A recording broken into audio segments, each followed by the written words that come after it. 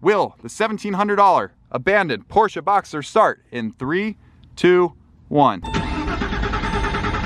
Good morning, ladies and gentlemen, to another Porsche video. No, this is not about the LS 911. This is about another cheap Porsche Boxster that I just bought and it's getting delivered right now. Literally, the trucker is at the garage. So here's a cold start with a 6.2 liter LS3 V8. Oh, yeah, that's never gonna get old. So as you can probably tell by the title and thumbnail, we bought another cheap Boxster. Another one what does this make? Boxster number like six, seven, eight, nine, I don't know. We're straight up addicted at this point, but we can't get enough. They're cheap, awesome sports cars for the money, and historically we've been able to get great deals on them, flip them for nice profits, and I don't think we've ever lost money on a Boxster so far. So why not try another one? I'll tell you guys all about the car and the deal in just a second, so let's head over to the garage and catch it coming off the trailer and give you my first impressions on the new cheap Boxster. Let's go.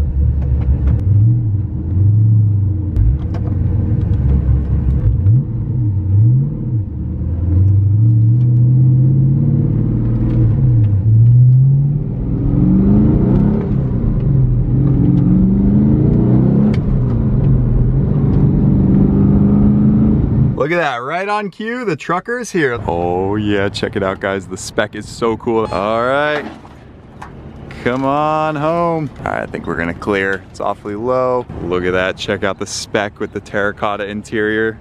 This is a baby Carrera GT, I'm telling you, silver on terracotta. Headlights need some restoration, but yeah, yeah, yeah. Nice. Okay, a little later in the day now, we got back up here. My brother Christian is here to do this first impression walk around with me. I swear I have not looked at the car. We simply pushed it here off the truck and then I had work to do and I wanted to wait for Christian. So First impressions, that's it? We're not gonna get this thing running? Okay, well he's awfully optimistic. We brought some oils and some fuel injector cleaners and all sorts of stuff. This one's gonna need it if it has any hope to run. While we're walking around it, I'll kind of give you guys the full story on it. Typical 3 a.m. morning. I was browsing the internet webs for uh, cheap Porsches and I came across this thing and it was right up our alley, but not exactly up our alley. Our past Boxster purchases have always been non-running, unknown mileage examples, right? You guys remember the past few videos we've done. If you haven't seen those yet, go watch them. We scored on those Boxsters. But this one is listed as a running and driving car, but with mechanical damage and probably worst of all, get this, I'll show the picture here from the auction. The picture they include to show the mileage of the dash. Uh, does anything look out of place or not right with this picture? Uh, yeah, that would be the tach at 5,000 RPMs and the car being ice cold on the temperature gauge. Uh. So that's already a huge problem right out the gate. It either means that the throttle is stuck and the second we go to try to start this thing, it's gonna blast to 5,000 RPMs or potentially it was running so bad that whoever was there at the yard taking the pictures was like giving it gas to like keep it alive. I don't know. I'm honestly a little worried about this one, but the price was so cheap I couldn't pass it up. I think other bidders saw that and ran the other way, but instead I ran right to the bid now button and uh, I bought the car. I think it was about 1700 bucks the final bid, so with fees, low 2000s, maybe 1600 bucks, because out the door was like 2200 bucks, which would be, I think, our cheapest Boxster yet. What are we thinking? First impressions, Christian? There's a bunch of mold over there. Oh, shoot. Oh, that I did not see. And a hornet's nest. Now that I did not see. Wow, here I'm thinking, wow, the interior is really nice. Oh my gosh, look at all this standing water in here. Okay, okay, this this is looking like a disaster. Bruh. That's disgusting.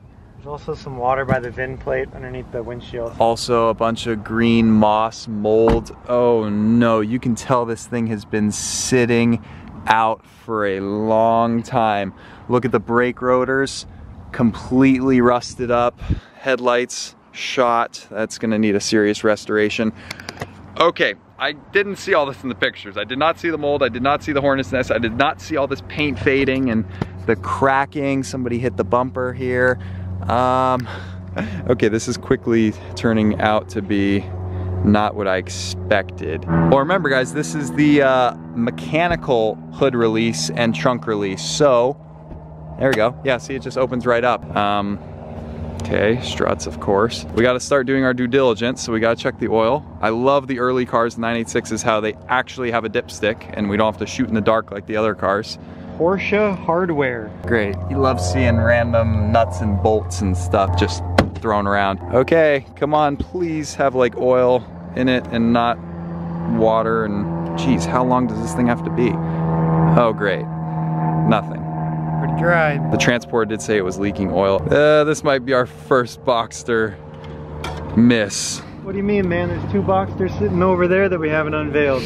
Yeah, no, we can't show them yet. Yeah, anyway, I'm not gonna show them. Well, crap. Okay, we're gonna need to add oil. Geez, I don't know if this thing was flooded or what. It was a donated vehicle. For those of you wondering, it wasn't totaled for any uh, crash damage or anything like that. It was another classic donated vehicle. So those are risky buys. Sometimes they're a big win, sometimes they're a big loss, that's for sure. Obviously we'll do an oil change, but we just wanna have something in it before we try first start. Oh, look at all the spider webs. Oh man, this thing has been sitting for a while. All the dog hair, this looks terrible. But, but, but, I will say, well, for starters, it's a really cool spec. The terracotta interior, it's actually in pretty good shape, not gonna lie. And if you're a Boxster expert, you would know that this is the upgraded uh, sport design shift knob, the uh, aluminum e-brake handle, the polished kick plates. This is a really nice spec car. Full extended leather package. I mean, this thing is a nice spec. It's just really hard on its luck right now.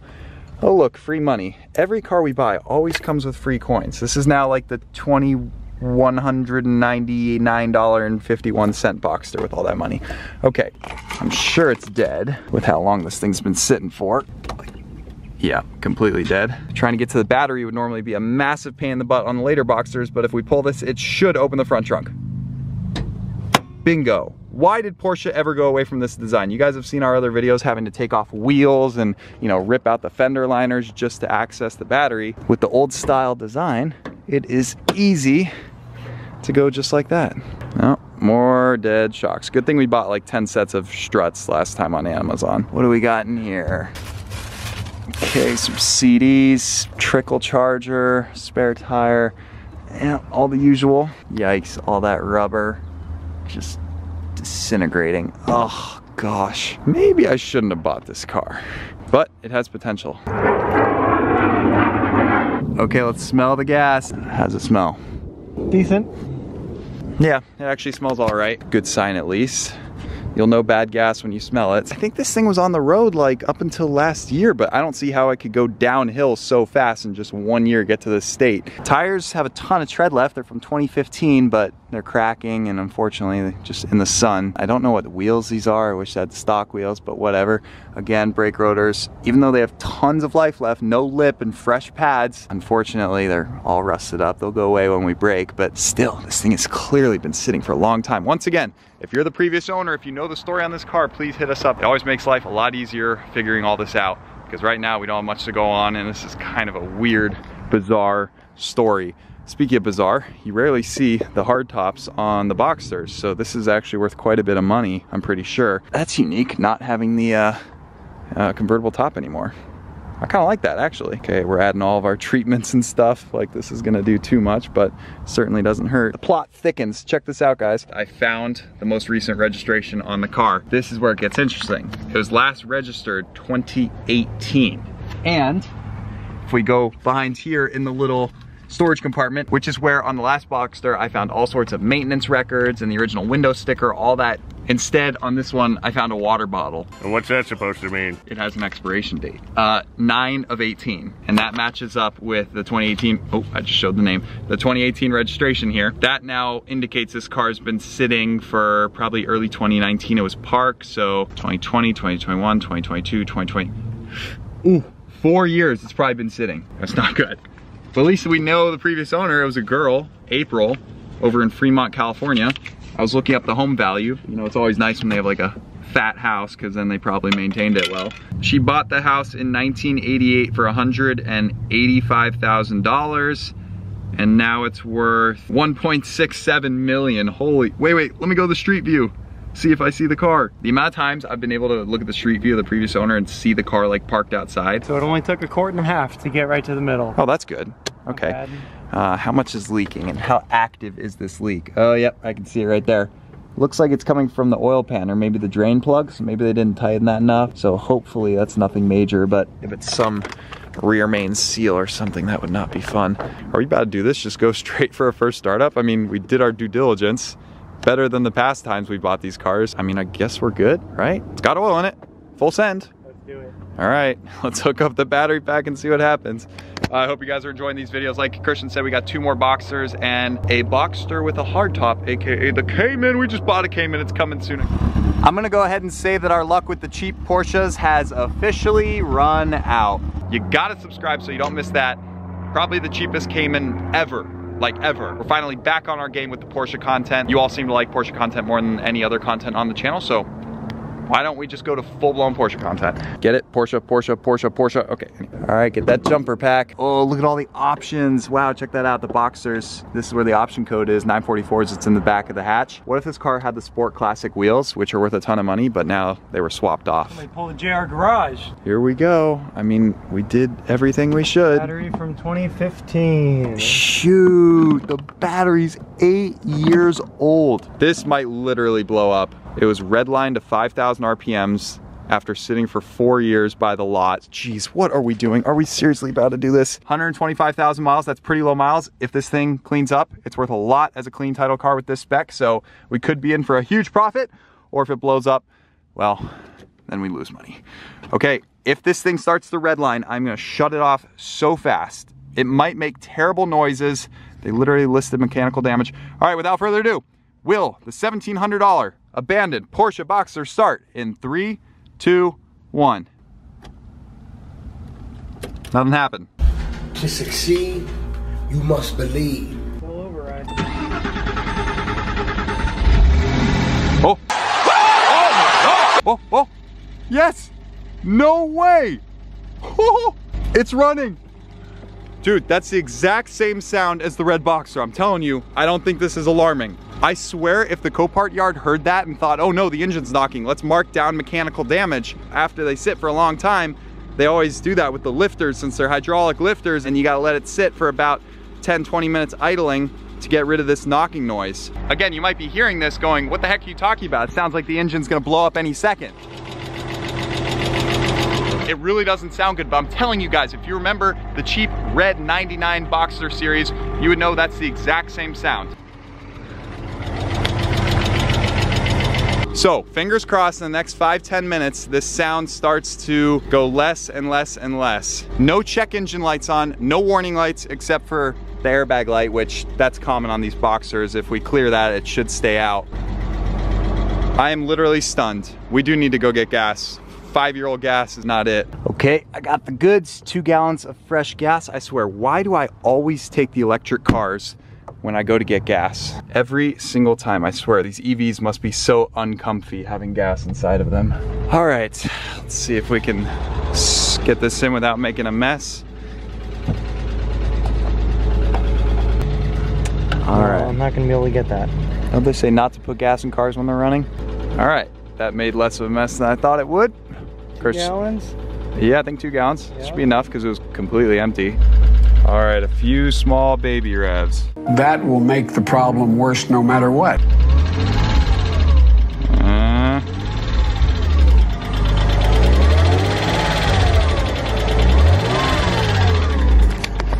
eh, eh, it's not a good sound.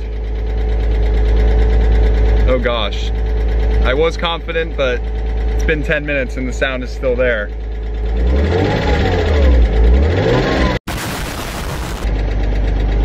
Uh-oh. Wow, check that out. Got two keys. That's really cool. Just like the last Boxster came with two keys. Usually you just get one. All right, guys, what are you thinking right now? Comment down below. Knowing what we know now that it runs, but it has this weird noise going on, would you have bid $1,700 for this car like I did? Right now I'm hopeful, but you know, looking at the mold over there, hearing this noise still coming from the engine, and just looking at some overall rough spots, the paint, eh, I'm, I'm still not sure if this is a big win or a big loss. I need that sound to go away. That's really concerning. That is still knocking.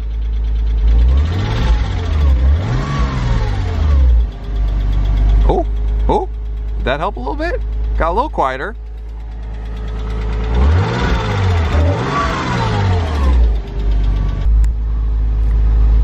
Oh my gosh, guys, listen. I think the sound went away. Just a few minutes later, a few light revs. Where's the knocking noise? Where's the tapping noise? Huh? That's what I'm talking about.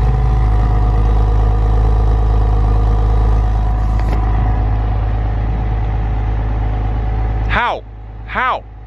This thing literally has mold growing on it, was sitting for four years, was listed as mechanical engine damage at the auction. Paint is shot, was sitting outside for that whole time, I would think, was redlined to 5,000 RPMs. How come we now get it, start it up, and 20 minutes later it's running perfectly fine? Okay, not to say I told you so, but didn't I just say give it about 10, 15 minutes? It's making the exact same noise as the red Boxster. Don't worry, it's gonna fade away and it's gonna run perfectly fine. This is deja vu. 2.5 liter engine, which honestly I'm a bigger fan of. Dual row IMS, so way more reliable in that department. It has two less catalytic converters, so it sounds way better in my opinion. And even though it has a little less horsepower, the gearing is slightly different, so it honestly feels just as quick. Oh my gosh, listen to it. Nice. I cannot believe this. I cannot believe this. Look who's rolling up. You leave for five minutes and boom, runs perfectly fine. What did I tell you? I brought all this. No, we don't need any of that. Dang. Don't Yep. even need to do an oil change. Five year old oil, that's gonna be the number one thing we do next video. Yeah, no, I literally don't think you need any of that anymore.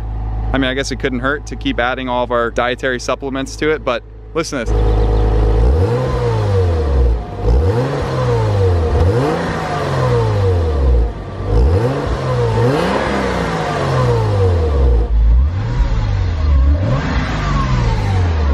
Perfect. It's good. Just what I told you would happen. You were scared. Come on, admit it. I was scared walking up to this car, man.